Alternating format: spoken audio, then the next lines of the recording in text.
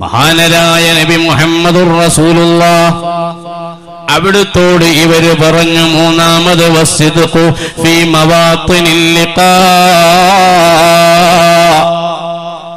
ആളുകളോട് ഇടപഴകുമ്പോഴും പരസ്യ ജീവിതത്തിലും മാന്യത കാണിക്കുന്ന ആളുകൾ ആ പ്രവർത്തനത്തോട് സത്യസന്ധതയുണ്ടാവലാണ് അഥവാ ഉള്ളും പുറവും ഒരുപോലെയാവലാണ് اللهم اجعل سريرتي خيرا من علانيتي واجعل علانيتي صالحا നബി സല്ലല്ലാഹു അലൈഹി വസല്ലമ തങ്ങളുടെ ദുആയാണ് ആളുകളുടെ ഇടയിൽ ഒരു കോലം കെട്ടൽ. അതേ ഇമാമ് നിൽക്കുമ്പോൾ നല്ല ഉഷാറാണ്. പള്ളിയിൽ നിന്ന് നിസ്കരിക്കുമ്പോൾ വളരെ ക്ലിയറാണ്. പക്ഷേ നിനക്കാണെങ്കിൽ വേറെ ഒരു കോലമാണോ? തീർച്ചയായും വഴലം അന്നക്കമുറ നിനക്ക് പ്രതിഫലം ഇല്ല. ലതത്തിലുബൻ എന്തൽ മുഹൈമിനി മൻസില. ഇങ്കും തതത്തിലുബു ഇന്ദനാ സിംമൻസില ഇമാനുമറി ഇല്ല യകൂനു തകാമുല. ഹത്തായോ يرى ناسا كإبل مثلا فيكون مدحوعا وذمه سواء لم يخش لومة لائم ഒരു മനുഷ്യൻ അള്ളാഹുവിന്റെ അടുക്കൽ സ്ഥാനം ആഗ്രഹിക്കുന്നുവെങ്കിൽ പടപ്പുകളുടെ കയ്യടി ആഗ്രഹിക്കണ്ട.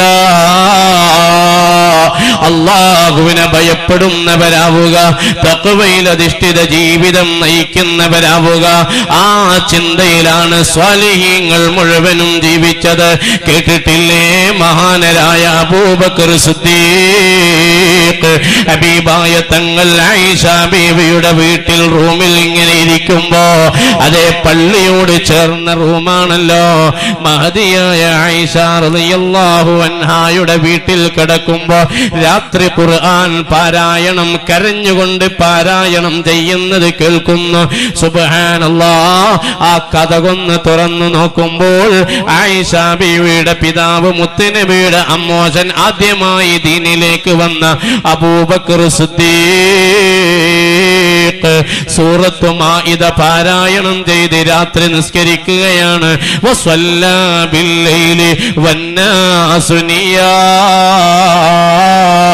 രാത്രിയിലുള്ള നിസ്കാരം വലിയ മൂല്യമുള്ളതാണ് മഹാനരായ ജുനൈദുൽ ബഗ്ദാദി എന്ന ആധ്യാത്മിക മേഖലയിലെ പിന്തുടരപ്പെടേണ്ട മാതൃകാ വ്യക്തിത്വമായ ജുനൈദുൽ ബഗ്ദാദി തങ്ങളോട് എന്തൊക്കെയുണ്ട് വിശേഷം എന്ന് ചോദിക്കുമ്പോൾ വഫാത്തിന്റെ ശേഷമുള്ള വർത്തമാനം എന്തെന്ന് ചോദിച്ചപ്പോ കൽ ഇബാറ ഫനിയത്തിൽ കൽ ഇല്ലാ ലൈൽ. രാത്രി സമയത്തുള്ള നിസ്കാരം ആ നിസ്കാരമാണ് എനിക്ക് ഏറ്റവും ഉപകാരപ്പെട്ടതെന്ന് മഹാനരായ ജുനൈദുൽ ബഗ്ദാദി. അത്താഴത്തിന് എണീറ്റാൽ ഒരു രണ്ടരക്കകത്ത് നിസ്കാരം നിർവഹിക്കാൻ പറ്റിയ ടൈമാണ് ദ്വാക്ക് ഉത്തരം കിട്ടുന്ന സമയം. അതിനെ പറ്റിയൊക്കെ ഇവിടെ വയൽ പറഞ്ഞിട്ടുണ്ടാവും ഞാനിപ്പോൾ അതിലേക്ക് കിടക്കുന്നില്ല. അത്തായത്തിന് എണീറ്റ ഉടനെ. അത്തായം കഴിക്കാനും സുന്നത്തുണ്ട്. അത്തായത്തിന്റെ സുന്നത്ത് എന്താ ചില ആൾക്കാർ കരുതിയത് മുരിങ്ങ കൂട്ടാനെന്നാണ് മുരിങ്ങ എങ്ങനെ കാണാം? എന്നും മുരിങ്ങ. ഉസ്താദ്മാർക്കും മുരിങ്ങ. അല്ലെങ്കിൽ ചെരങ്ങ അല്ലെങ്കിൽ പടലങ്ങ ഒക്കെ അങ്ങ. മൂന്നിങ്ങ ഉണ്ടാകുക മുക്കതായ സുന്നത്താത്ര ചെറുപഴം മൈസൂരിപ്പഴം. അവിടെ എന്തോ അറിയില്ല. അത്താഴത്തിന് അത്തായത്തിന് സുന്നത്ത നെയ്യത്തക്കൽ സുന്നത്തായ അത്താഴം ഞാൻ കഴിക്കുന്നു ബിസ്മില്ല. അത്താഴം പിന്തിക്കണം. രാത്രി കിടക്കുമ്പോൾ തന്നെ ചോറ് വെച്ചിട്ട് ഓളോട് പറയും ഇനി ചിന്നെ പെലച്ചക്ക് കൊലത്താൻ നിൽക്കരുത് കേട്ടോ പറയും. അങ്ങനെയല്ല. അപ്പം കഴിക്കണം. പിന്നെ ഈത്തപ്പഴം. നിസ്വല്ലാ അലൈവലമ തങ്ങൾ ഈത്തപ്പഴം കൊണ്ട് തുടങ്ങി ഈത്തപ്പഴം കൊണ്ട് അവസാനിപ്പിച്ചിരുന്നു നോമ്പ്. അപ്പം അത്താഴത്തിന് ഒരു രണ്ടോ മൂന്നോ ഈത്തപ്പഴം കഴിക്കൽ അത് സുന്നത്താ. അങ്ങനെ. മഹാനരായ അബൂബക്കർ സുദ്ദീഖ് തങ്ങൾ നിസ്കരിക്കുകയാണ്.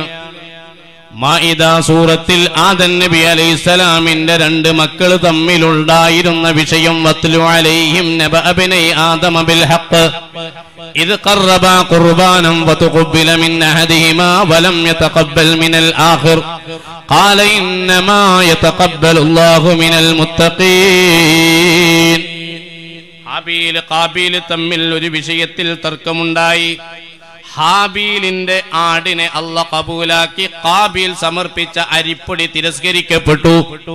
അപ്പൊ കാബീൽ ഹാബീലിനോട് പറഞ്ഞു എന്നെ കൊല്ലുന്ന നന്നാകണീന് പകരം. എന്റെത് കബൂലാക്കിയാലോ? അല്ല ഉമ്പരത് കബൂലാക്കിയത് എന്റെ കബൂലാക്കിയിട്ടില്ലല്ലോ. അതുകൊണ്ട് ഞാനൊന്ന് നന്നാകട്ടെ എന്ന് ചിന്തിക്കണേന് പകരം സഹോദരനോട് പറഞ്ഞു എന്നെ കൊല്ലുന്നാണ് അപ്പൊ സഹോദരൻ പറഞ്ഞു ഇന്നമാ എത്തക്കബലാഹുമിൽ മുത്തക്കി ഞാൻ കൈക്കൂലി കൊടുത്തൊന്നുമല്ല തക്കവയുള്ളവരിൽ നിന്നേ അല്ല കബൂലാക്കുള്ളൂ. ഈ ഭാഗത്തെപ്പോ റലി അള്ളാഹുവിന് ബോധം കെട്ടാണ്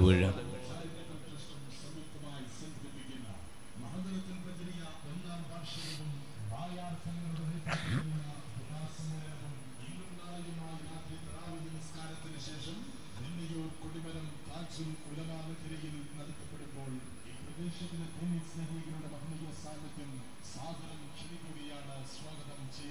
എല്ലാവരും ക്ഷണം സ്വീകരിച്ച് പോണത്രേ ഇവിടെ തന്നെ വരുന്നില്ലല്ലേ ആ. നമ്മളതെന്നാ ഞായറാഴ്ച. പകൽ ഈ ടൈമിലായിരിക്കും അല്ലേ? അസർ വരെ. മഷാ അപ്പൊ സിദ്ദീഖ് റളിയല്ലാഹുവിന് ബോധം കെട്ടാണ് പോകുന്നു സുബൈക്ക് എന്നും ഒന്നാം സഫ് കാണുന്ന ആളെ കാണാനില്ല. നബി തങ്ങൾ ചോദിച്ചു എവിടെ മുപ്പര്? വെച്ചു അപ്പം ബാക്കെന്ന് ഞാൻ ഇവിടെ ഉണ്ട് നബി. എന്തേന്ന് വെച്ചു എന്തൊരു ടെൻഷൻ എന്ന് വെച്ചു ഒന്നുമല്ല ഞാൻ നിസ്കരിക്കുന്നുണ്ട് നോമ്പ് വലിക്കുന്നുണ്ട് പല കാര്യം ചെയ്യുന്നുണ്ട്. പക്ഷെ തക്കവുള്ളവരെന്നെ അള്ള കബൂലാക്കുള്ളൂ എന്നാണ്. ഞാൻ അള്ളാഹിന്റെ അടുക്കൽ ഒരു തക്കവുള്ള ആളായി സർട്ടിഫൈ ചെയ്യപ്പെട്ടിട്ടില്ലെങ്കിൽ അള്ള പരിഗണിച്ചിട്ടില്ലെങ്കിൽ എന്റെ കാര്യം ആലോചിച്ചിട്ടാണ്. വിശുദ്ധ ഖുർആൻ എന്ന ആയത്തി പശ്ചാത്തലത്തിൽ ഇറക്കി. സിദ്ദീഖ് തങ്ങൾ അവിടുന്ന് തക്കവയുള്ളവരാണെന്നാ പറഞ്ഞത്. എന്താ തക്കവ ഒരിക്കൽ മഹാനരായ ഉമർബിൻ ഖത്താബ് തങ്ങൾ സഅദ് ബിൻ അബി വക്കാസ് തങ്ങളോട് ചോദിച്ചു എന്താണ് തക്കവ അപ്പൊ സഅദ് ബിൻ അബി വക്കാസ് തങ്ങൾ ഇങ്ങനെ പറഞ്ഞു നമ്മളൊരു കുറേ മുള്ളും കല്ലും കുപ്പിച്ചില്ലൊക്കെ ഉള്ളൊരു സ്ഥലത്ത് കൂടെ എങ്ങനെ പോകണം. ചെരുപ്പിടാതെ പോകുമ്പോൾ എങ്ങനെ പോകാന്ന് വെച്ചു അപ്പം മറലാന്ന് പറഞ്ഞു മുൾച്ചെടിയും സംഗതിയൊക്കെ ഉണ്ടാകുമ്പോൾ എന്റെ തുണിയൊക്കെ ഒന്ന് പൊക്കും. പൊക്കിയിട്ട് പതുക്കെ എങ്ങനെ ചവിട്ടും അല്ലേ? അപ്പം നമ്മൾ ഔത്തിരിക്കുന്ന സമയത്ത് കുട്ടീന്റെ കയ്യിൽ നിന്ന് ക്ലാസ് വീണ് പൊട്ടി ഉടഞ്ഞു നിൽക്കുക. അങ്ങനെ ആകെ ചിന്നിച്ചെതറിയ നമ്മളിങ്ങനെ കാലിങ്ങനെ പൊന്തിച്ചിരിക്കും അല്ലേ? വല്ല കുട്ടികളും വല്യപ്പാനെ സ്നേഹിച്ചടുത്തേക്ക് വരുന്നുണ്ടെങ്കിൽ അവിടെ നിന്നാണ്ട് ചൂടാകും. എന്തേ? ചവിട്ടണ്ടെന്നുള്ള എനിക്ക് ഇതേപോലെ ഇങ്ങനെ നല്ല സൂക്ഷിച്ച് ഇങ്ങനെ അങ്ങനെ. ആ എന്നാ ജീവിതത്തിൽ സൂക്ഷിച്ച് ഭക്ഷണം കഴിക്കണോടത്ത് വെള്ളം കുടിക്കണോടത്ത് നടക്കണോടത്ത് ഉടുക്കണോടത്ത് ഇരിക്കണോടത്തൊക്കെയുള്ള ആ സൂക്ഷ്മതക്കാണ് തക്കുവ. അലിയാർ തങ്ങൾ പറഞ്ഞു ഹി അൽ ഖൗഫു മിനൽ ജലീൽ വൽ അമലു ബിത്തൻസീൽ വൽ ഖനാഅത്തു ബിൽ ഖലീൽ വസ്തീദാൽ യൗമിർ റഹീൽ ഒക്കെ വിശാലമായി പറയണ്ട ഞാനിപ്പോൾ അതിലേക്ക് കിടക്കുന്നില്ല പറഞ്ഞു വന്നത് അള്ളാഹുവെ ഭയപ്പെടുന്ന ഒരു ചിന്ത. എന്റെ കാര്യം എന്താകും എന്നുള്ളൊരു ആലോചന. ഇതാണ് പൂർവീകരായ ആളുകൾക്കുണ്ടായിരുന്നത്. മഹാനരായ അൽക്കമാതങ്ങൾ അവിടുന്ന് പറയുന്നു നാലാമതായി.